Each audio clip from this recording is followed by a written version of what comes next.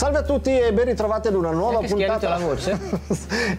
Perché qua- solo, quando ci Mike, sono, solo quando ci sono ospiti queste cortesie. Lei mai che mi lascia fare una volta un'introduzione fatta bene, no? No. Sempre a dar fastidio come Io sono qua per dare il mio apporto e supporto. e altre, altre, altre cose, tipo supposta è quello che da lei solitamente. Dicevamo, questa è Tui e Proust, una trasmissione che parla di libri su Icaro TV e anche su YouTube, ci trovate praticamente ovunque, ogni settimana, consigli, chiacchiere, recensioni. E come la puntata scorsa, per la gioia di Polazzi, non saremo noi a lavorare questa volta perché non ci sentirete Una parlare delle- di libri, È quel format che mi piace di più, quello con l'ospite. perché lei non ha voglia di fare No, niente. Ah. no, perché io sono curioso, io non sono mai stato in grado di scrivere un libro, quindi Mm. poter parlare con chi invece riesce a mettere nero su bianco i suoi pensieri, una storia, mi, mi piace. Mamma mia come galvanizzato. Allora visto? lascio fare lei, presenti No, l'ospite. prima di tutto presentiamo l'ospite, diamo il ben trovata a Mariana Vitale.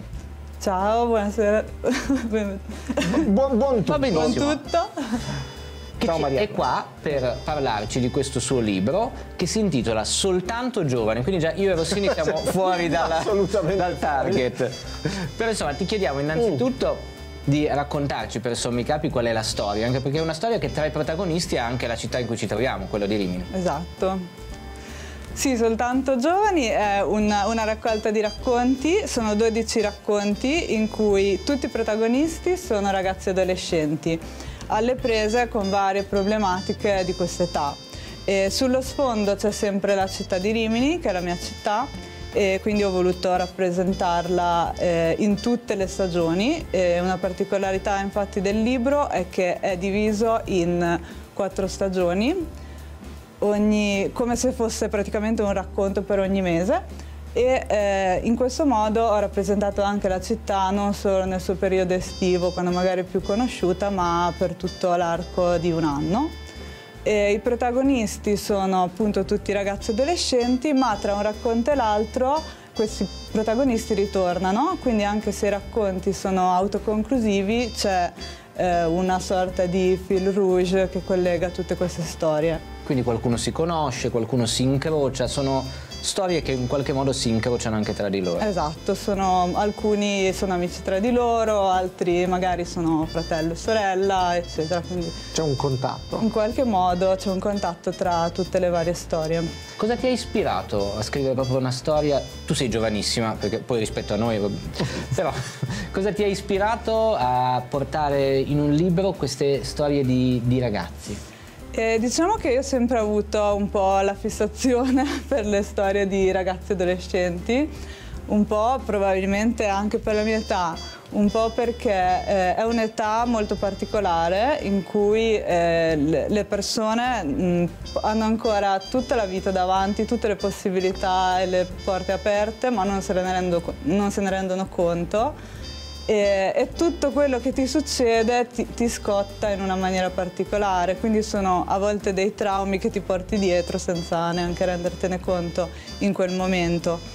E, e ho visto che quando mi metto a scrivere molto spesso vado a ripescare storie dell'adolescenza che potrebbero essere ispirate alla mia storia personale o a cose che ho visto, sentito o anche no, anche magari inventate, però comunque molto spesso rimango in quella, su quell'età lì. E, e quindi ho deciso di approfondirla con appunto 12 diverse tematiche. E come hai deciso a un certo punto di eh, trasformare queste storie in un libro? Eh, Il, il libro è nato fondamentalmente alla scuola Walden che ho frequentato per due anni, che è una scuola di scrittura eh, dove appunto ho sviluppato anche eh, una serie di... ho imparato una serie di cose e ah, alla fine del- dei due anni ho presentato un progetto che per me è stato questo libro e mentre ero proprio lì alla Holden eh, ho iniziato un po' a scavare diciamo, per cercare le, le cose che mi stava più a cuore raccontare e quindi da lì è nata proprio l'idea del libro. E, tua, e, co- e come ti vedi come, come scrittrice? È secondo te un, eh, un momento della tua vita? Hai in mente di scrivere altro? Eh, in realtà io scrivo un, un, po' da sempre, scrivo da quando, principalmente da quando ero in prima superiore, cioè in prima superiore ho iniziato a scrivere libri, eh, però per cui diciamo che è sempre stata un po' il mio obiettivo quello di, di scrivere. Al momento non sto scrivendo nient'altro, però sicuramente spero che in futuro di continuare. Ci sia. C'è uno scrittore al quale ti ispiri, che ti ha stimolato di più? Bravo, Polazzo, bella dopo visto? Eh, in realtà sono tantissimi, eh, però diciamo che mentre scrivevo questo libro, una raccolta di racconti che mi è particolarmente piaciuta è Ragioni per vivere di Amy Hempel che non conoscevo prima di frequentare la Holden. In realtà leggevo anche pochi, pochi racconti prima, eh, ho scoperto questa, questo genere, diciamo, proprio mentre ero lì e eh, una, uno dei libri che più mi ha colpito e più mi ha ispirato è stato questo. Ragioni per vivere. Quindi leggevi pochi racconti, però il libro dato alle stampe è un libro che mette insieme dei racconti. Esatto. Quindi è stato un colpo di fulmine quello che hai racconti.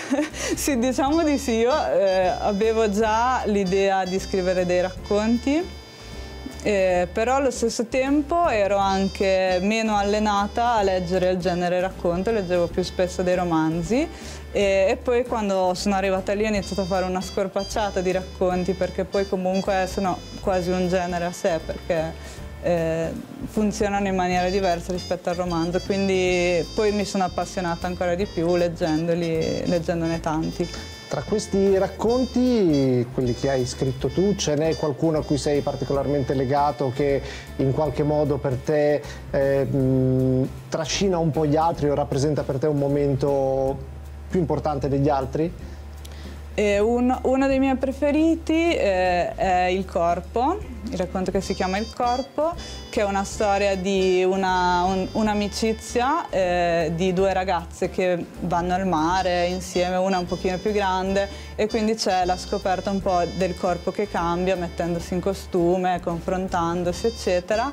E nel frattempo una delle due ragazze trova un fidanzatino e l'altra comincia, a, cioè prende una cotta per questo ragazzo, quindi diventa una sorta di triangolo.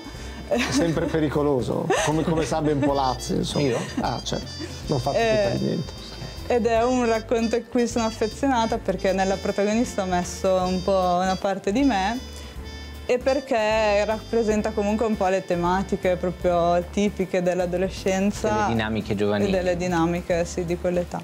Ti chiedo anche hai detto il fil rouge e questi personaggi in qualche modo si conoscono, si incrociano, però c'è anche la città di Rimini. Quanto incide Rimini anche nei racconti? Cioè è effettivamente uno dei protagonisti di questo romanzo, libro? Eh, diciamo che allora questi racconti sì, per, in alcuni casi diciamo che non avrei potuto ambientarli altrove. Ci sono alcuni in cui la città è proprio uno sfondo e, e che magari essere, potrebbe anche essere tolta, tra virgolette, eh, o ambientati da un'altra parte. Ce ne sono alcuni, soprattutto quelli estivi, dove c'è tanto il mare magari, e ce ne sono altri, ad esempio uno che è ambientato nella colonia bolognese, di questi due ragazzini che vanno a esplorarla di notte pensando di trovare chissà quali... Abbiamo una colonia abbandonata, lo diciamo per chi non è di Rimini o non segue, anche se insomma cerca proprietario da tempo ma ancora sì. non l'ha trovato. Esatto, quindi ad esempio quello è un racconto tipicamente riminese perché me lo sono immaginato proprio partendo dal luogo. Nel, mm, nel presentarlo questo romanzo, magari nel parlare con chi l'ha letto, c'è qualche commento, qualche complimento che ti ha colpito particolarmente, magari qualcuno che ha notato nel libro qualcosa che tu stessa quando scrivevi non ti rendevi conto di, di averci messo. Sì, questo capita sempre per fortuna e ad esempio mi ha, molto, mi ha, fatto molto piacere il commento di un'amica che è psicologa ad esempio e ha trovato molto, molto azzeccati i racconti dove c'era un problema magari psicologico e dove in uno c'è anche la figura della psicologa, che però io non sono, quindi ho comunque dovuto immaginare. E, e quindi vuol dire che è, stato ben azzeccato. E altri magari hanno apprezzato di più dei racconti che io eh, che magari sento meno eh, personalmente, però mi hanno detto, ad esempio il lato maschile che io ovviamente essendo una donna ho dovuto immaginare e anche per esempio mio fratello mi ha detto ti sono riusciti molto bene i racconti in cui eh, non, non, non, ti sei medesimata fino in fondo però allo stesso tempo eh, hai reso molto bene la, la figura maschile quindi sono contenta. Invece la, la stesura com'è andata? Nel senso, ehm, lavori ai racconti, buona la prima, ci rimetti molto le mani, ritagli, come, di solito come scrivi? E allora, scrivo abbastanza di getto e ovviamente un po' bisogna sempre rimetterci le mani anche perché molto spesso io quando scrivo ho in mente dei punti, però poi mi lascio molto trascinare dalla storia dei personaggi che molto spesso vogliono fare quello che, che gli pare. Prendono vita certo da soli. Quindi magari tu immagini una storia e poi invece esatto. i personaggi la portano altrove. E quindi a questo punto molto spesso poi alla fine una piccola riscrittura è necessaria per far combaciare un po' tutti i punti del racconto e questi racconti non li ho scritti tutti di fila, nel senso che essendo appunto racconti, magari tra uno e l'altro passava un po' di tempo, e, però diciamo che nel complesso ci ho messo un paio d'anni, considerando che in mezzo c'era anche comunque la scuola che stavo frequentando e, e vari impegni di lavoro. Per ricordare che nel soltanto giovani ci sei anche tu, insomma. Ma se dovessi dare a qualcuno un, consiglio, un consiglio per leggerlo questo libro, perché acquistarlo e leggerlo? Eh, io direi che dovrebbero tutti leggerlo per ritrovare un po' la loro diciamo non tanto il bambino, però l'adolescente che è ognuno di noi. Noi che non abbiamo più le porte davanti, ma un po' no, dietro. Sono tutte alle per spalle. quanto riguarda chi c'è uscito e chi invece magari è, è, è adolescente in questo momento, direi per trovare comunque degli amici, sentirsi meno solo. Un'ultima domanda che ti Vai. faccio, visto che abbiamo parlato insomma, di letture di ragazzi, qual è la colonna sonora di questo libro secondo te? Eh, no, questo è troppo difficile. Sempre domande difficili sul fine. Eh, oggi i Polazzi mi hanno rubato la scena. Allora. Sei arrivata, allora, stava no, dando un po' di tempo. È poco giovanile, però. Ah, quindi eh, va bene. Però direi a, a Marcord un po' per, ah, i suoi tempi ah, okay. per dare perché un po' anche la divisione in quattro stagioni mm. mi sono ispirata ad Amarcord e, e, per dare un po' di atmosfera riminese. Ok. Poi per quanto riguarda la, la, musica più giovanile, diciamo che ognuno secondo me dovrebbe scegliere quella che è più adatta al, al suo periodo, perché poi io sono degli anni 90, magari chi lo legge adesso... Ma tu hai ascoltato musica mentre scrivevi? Perché c'è chi scrive con la musica, non chi non tanto, ce la fa? Non tanto. Allora, ricordiamo, soltanto giovani di Marianna Vitale, ci dicevi anche che oltre nelle librerie si trova anche in ebook tra poco dovrebbe Tra uscire. poco si troverà anche in ebook e negli store online comunque è, è ordinabile anche la versione cartacea. Editore AUG. AUG Edizioni. Perfetto, non l'avevamo detto, giusto, mi sembra... è giusto dirlo. Marianna, grazie. Grazie per grazie essere stata con noi. Quando e... sarai in cima alle classifiche ricordati di noi che saremo sempre qua in questo studio.